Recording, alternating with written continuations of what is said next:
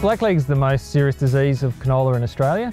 If you don't control blackleg, you can't grow canola like we saw in the early 1970s when canola first came to Australia, it completely wiped out the crop. There's been a lot of work done in management of the disease, so how to grow crops to avoid the disease, and in more recent times there's been some fantastic fungicide options. So when you put those three things together, we can grow a really good healthy crop of canola now, which we couldn't do in the past.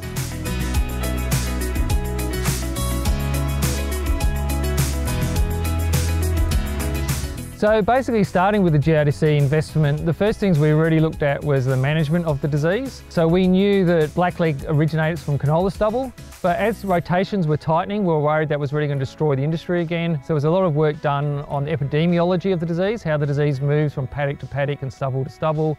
And that's really where we worked out the isolation from last year's canola stubble was really the key to managing the disease.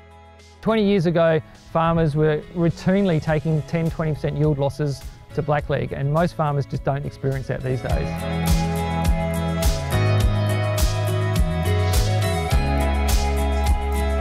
From a genetic perspective, there's been a lot of funding into breeding for resistance.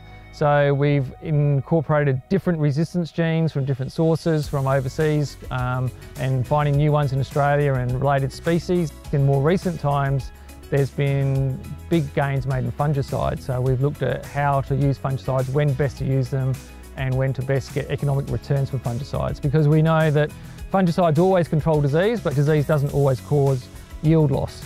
So it's about economically knowing when to use these practices.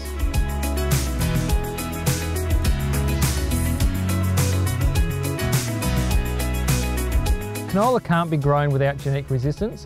So it's the funding that GRDC's put in over the long term which has really created the genetic resistance. So without that resistance, without that funding, there would be no canola industry today. It's about keeping up with the pathogen because the pathogen keeps evolving to overcome our resistance. So it's this co-evolution between the breeders and the pathogen to keep creating that resistance, recreating it, reselecting, bringing in new genetics.